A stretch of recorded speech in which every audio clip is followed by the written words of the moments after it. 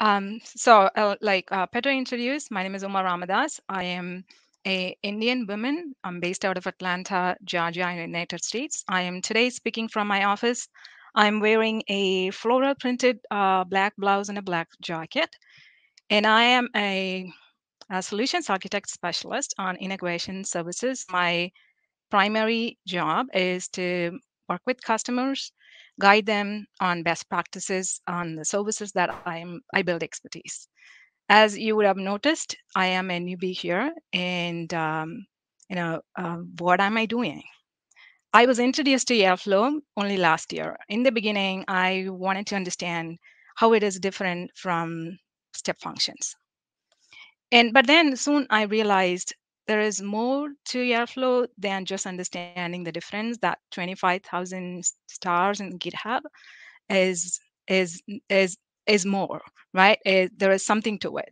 So I started from the basics. In these days, I talk to many customers who are, you know, many of them are in the early stage of adopting Airflow.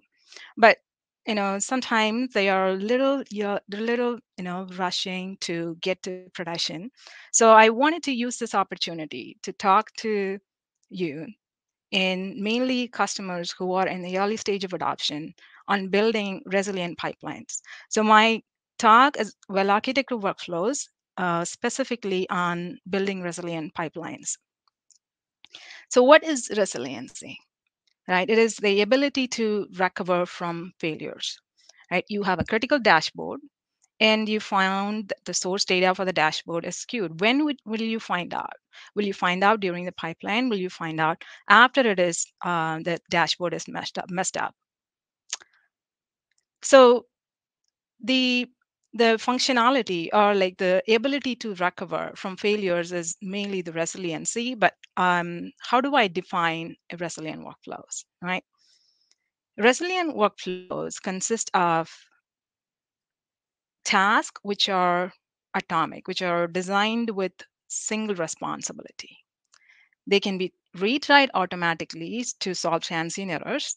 The entire workflow and also the um, task is redrivable. What I mean by redrivable is they can be redone many times and without any side effects.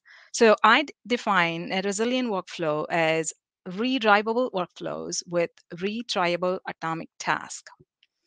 But building and running resilient workflows is not just one single thing. It has got many steps into it and we start with building, you solve a problem by building a pipeline and you deploy it. A lot of times, there may be some issue, right? Something's going to fail. And like Werner Vogel said, actually, everything fails all the time. Um, Werner Vogel is the CTO of Amazon.com. So, what makes your pipeline successful is how you recover. You design your system or your pipeline so it can fail safe and fail fast, right? After recovering from your failure, the first thing you're going to do is to analyze the cause of failure. That is going to be the most uncomfortable conversation you're going to have. You're going to look inside your inside you and your team to find out what happened, right? Once you find the root cause, you are going to make some changes and that change could be a change in pa- change in operational practices or it could be the team change or it could be a technology. But there is certainly need to be some change. If there is no change and you discard it like oh there's is one time problems um, there's there's just one person who did it i fired him then you're doing something wrong right so this is a cycle. You need to close the cycle. I'm not going to talk through the entire cycle because it's going to take a long time. I already wasted a one minute there. And my talk is um, is just 25 minutes. So I'm going to focus mainly on the build phase of the pipeline. So before I start, right, we I want you to understand how resiliency is built into the Airflow architecture itself, right? We all know Airflow has several moving parts. It's truly a distributed architecture. You can deploy, deploy everything in here in one single machine and get it running. It works very well for local development, sometimes like in the early stages of data pipelines.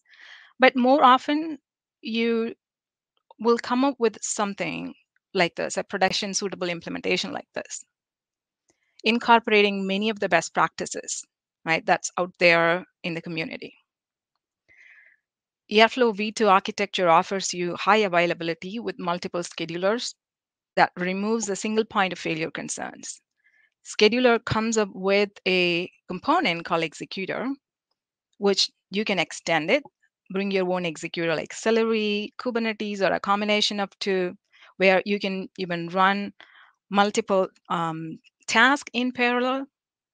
And depending on the architecture or the technology you're using, you could have auto-scaled workers. It gives you the scalability that you need. Executors and the workers are typically decoupled through a messaging queue. We all know messaging queues offers buffering.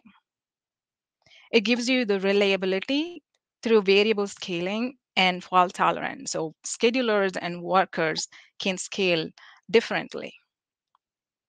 You can choose a file system, such as an object storage like um, Google Cloud Storage or Amazon S3, they offer high availability. You can also design in such a way that data from the, your workflows from these object storage be synced with your schedulers and the workers periodically for faster and reliable access. Typically, you would be using a relational database like Postgres. If you're using Post Postgres, you can improve connection pooling by using a service like a PG Bouncer, or if you're in AWS, use RDS proxy. You can have multiple web servers deployed in a load balanced environment. The entire architecture can be extended to fit in or bring your own authentication and authorization tools and also observability tools. Having these architectural choices and making these architectural choices are critical and necessary for your environment. But that's not enough.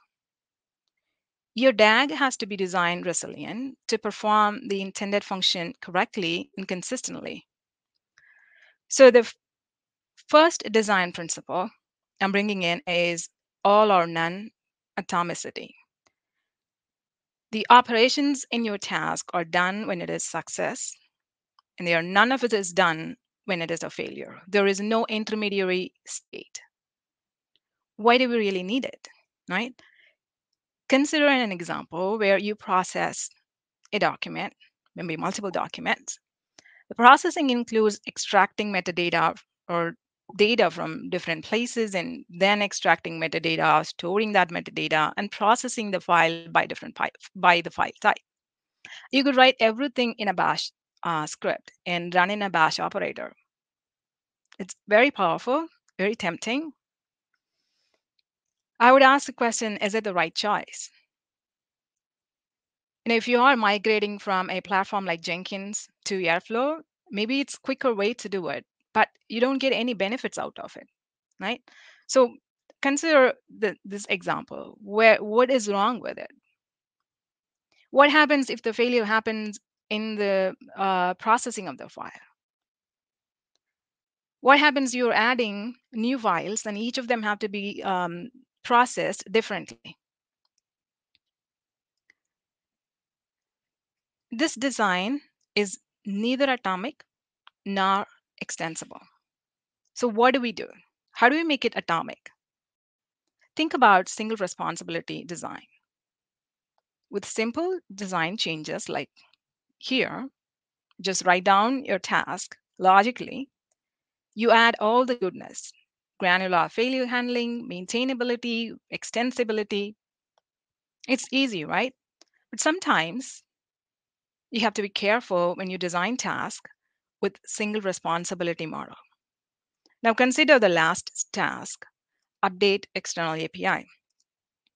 Typical API calls require you to obtain a API key and then call the API. So you attempted to split it into two, two different tasks because you're thinking about single responsibility. But what happens if the update API fails? So you're getting the API key, storing it in XCom, maybe, and that's how you're sharing it with the update API. And update API fails uh, permanently, not transient error. So either client side error or the server side error, you fix it and you're rerunning the task. If the API key expires, you're getting an unexpected behavior. So even though this seems to be two different tasks, they are part of a single operation, so they are better together. Our next design principle is making failures safe. Well, I have retries. Isn't that enough? Well, retries can cause problems. They can cause side effects if the system is not designed with idempotency in mind. So idempotency is basically implies the outcome of your task or your workflow is the same regardless of how many times you run with the same input. So let's run through a quick example. You are doing data aggregation in the pipeline and then you're storing the data in the database. You made some changes in your pipeline, you're rerunning your pipeline. What happens if you have insert statement in the store database? You're going to either have duplicate records, or if you design your table with primary key constraints, you're going to have a constraint error. So the operation is not idempotent. How do you correct it? Let's look at some techniques. You can start with upsert. If the database supports it, really good technique. If the database does not support it, you might want to check the community provider operators. For example, Redshift does not support upsert. It's one of the popular databases used with Airflow. If you have to do it yourself, you have to create a staging table, merge the data, you know, load the data and merge the data with the destination table and delete the stage ta- staging table. It's a lot of code, a lot of things that you have to do, right? And that's what you have to do if you don't have anything and you need idempotency. So rather, the Redshift operator provides you a single parameter that you can do, method equal to upsert, and everything else taken care inside that operator. Isn't it nice? You really don't have to do anything at all. Sometimes doing upsert may be a costly operation because you have just a single record, right? So you can just validate the existence of the record before you know inserting it into the table. Let's take another example. In this example, you really do not have control over the operation. It's not your change. You're calling an external API. It could be an email service. It could be another API. You really don't know whether it is designed with idempotency. So now when what happens when you rerun your pipelines? You're going to have unexpected behaviors. You really don't know. So you might want to ask a few questions. Is it okay if the client, if, like in the case of email service, it receive multiple emails? How often this can happen? So depending on that, you might want to design a state-aware task, a task that can store the state of whether the transaction or the API is called. And before calling the API, it checks the state. You know, it could be an idempotent key, in, a key, an idempotent key, or it could be the uh, the run ID itself, and you store it and you check whether the API is called. Our next design principle is about protecting the downstreams.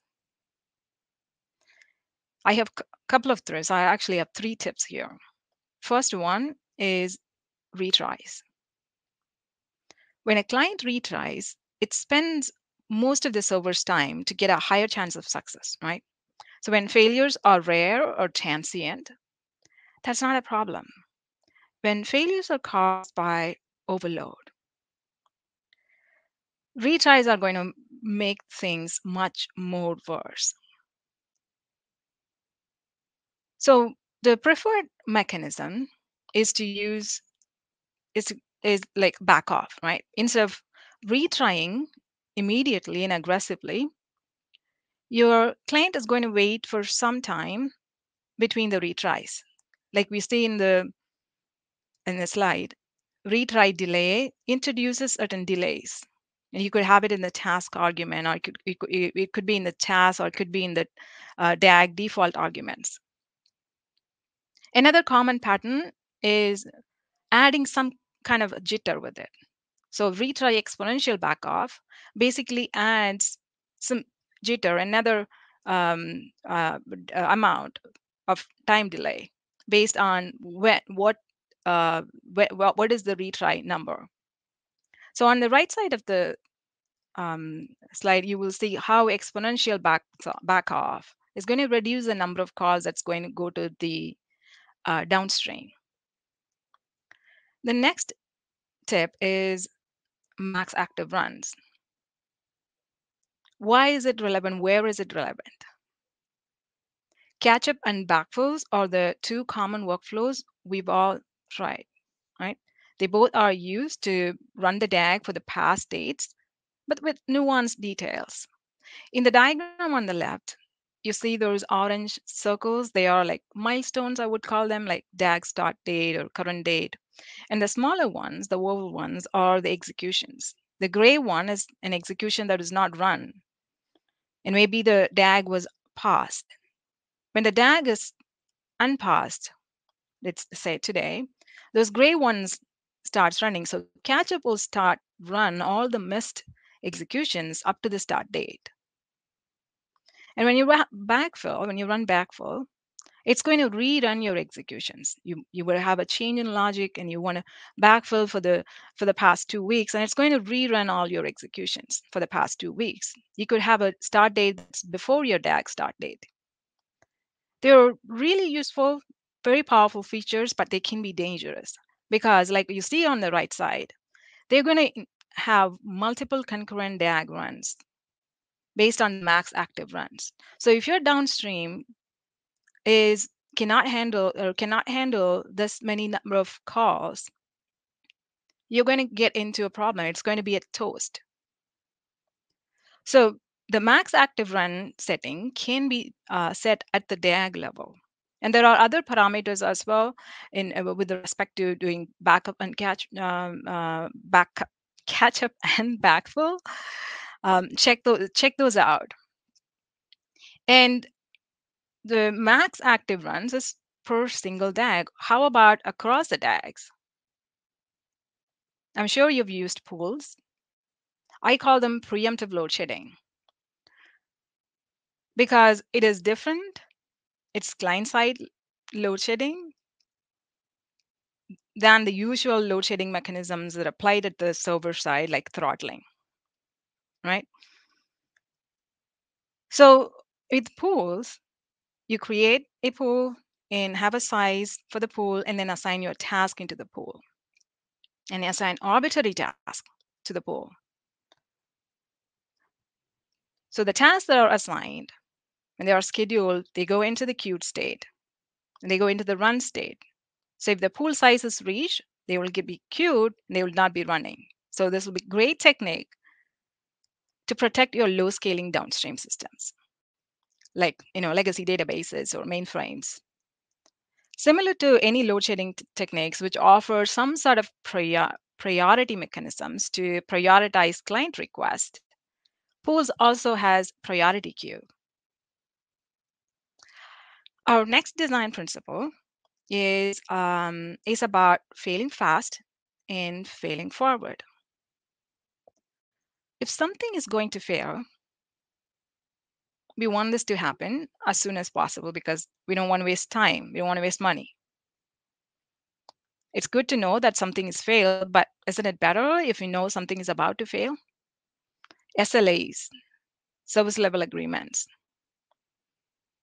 It is an expectation for the maximum time a task should take if a take if, it, if a task takes longer than this to run right it will get into the SLA miss misses dashboard. You can also set SLA miss callback.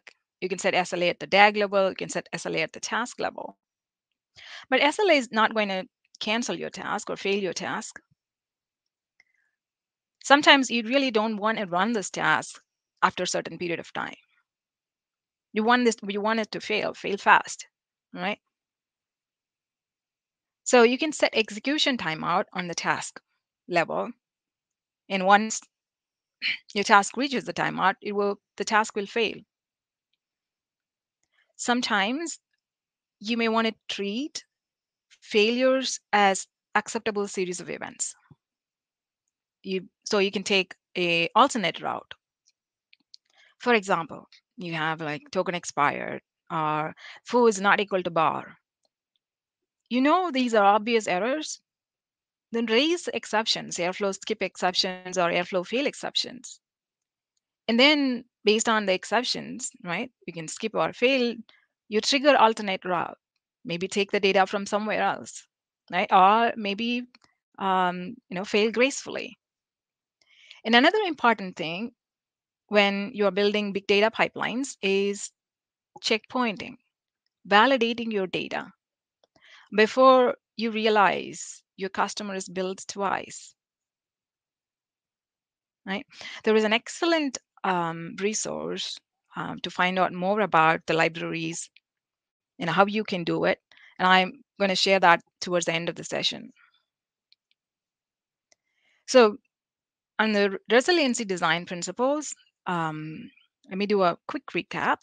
We talked through how you can break down your pipeline process, the task atomically, so as to make sure the operation is either done successfully or there is no intermediary state hanging on.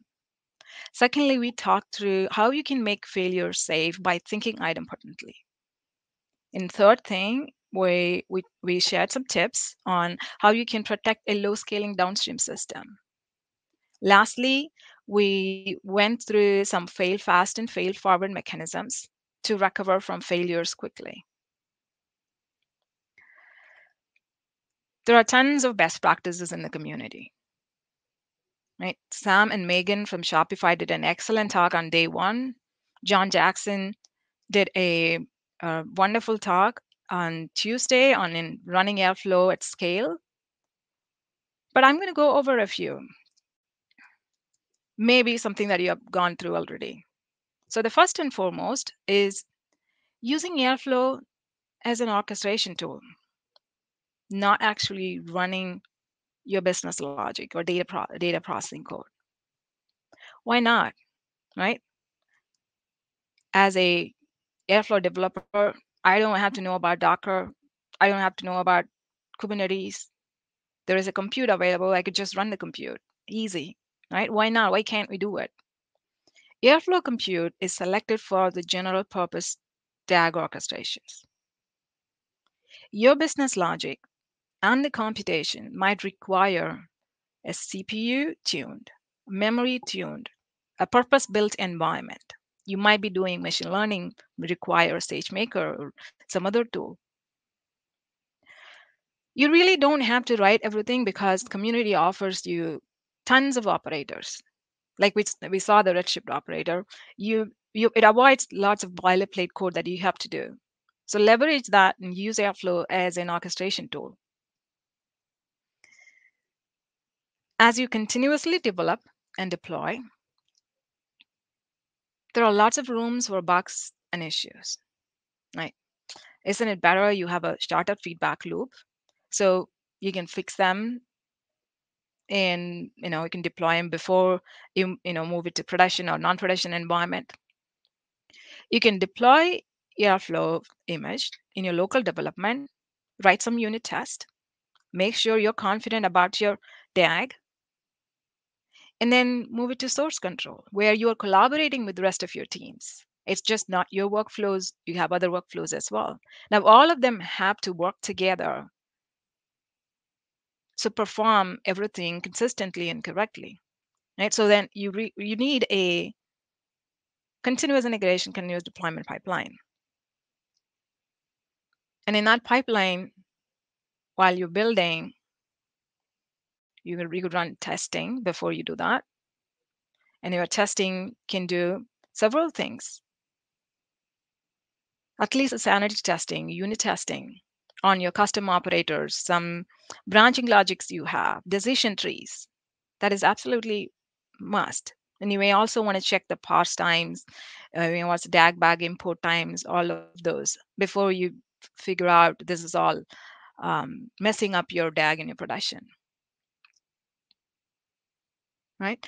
And the whole thing can be extended so that your CI/CD process provisions your environment and updates your environment when necessary. Leah Cole talked about um, Happy DAG. I think that the title was Happy DAG, um, Happy Team. Um, it was on Tuesday. Really very good talk, and she had an awesome demo as well. If you haven't checked out, please check it out. And the last thing I'm going to stop right here is how you monitor your workflows. Building is not enough. It's definitely not enough. You have to constantly monitor what is going on. You have to review your metrics, operational metrics with your team every week. I have listed here some metrics, there are just a few because your DAGs are different. Some DAGs are critical, some DAGs are not. So you have to come up with what is important for your business, build a dashboard, and a reliable notification mechanisms to be alerted when thresholds exceeds. Some of them can be built in the CI/CD process, like the process, the the parse time or the DAG bag import proactively, right? And you can also leverage dashboards like landing times and Gantt chart um, to troubleshoot performance issues.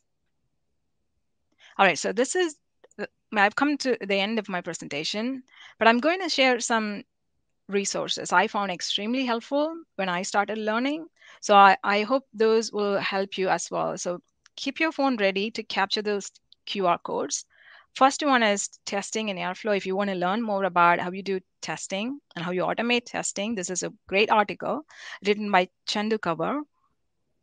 Check that out. And the next thing is um, on data validation and checkpointing, checking quality of your uh, data. This is a astronomer um, video, a really awesome video. Um, you know, it has an associated GitHub repo as well. Um, if you get a chance, please check that out as well. And the third is Airflow best practices. I don't know if you have got a chance to check it out late, uh, lately. I've done it. It was really awesome. Lots of new information there, starting with uh, DAG, uh, you know, top level code to, you know, DAG loader test and, um, and then like performance tuning, etc. So really awesome resource. Check that out as well. I know I haven't left any time for Q&A, but I am available. Uh, I'll check back again, uh, log into StreamYard and answer your questions there. And thank you so much. Thank you um, very much for the opportunity.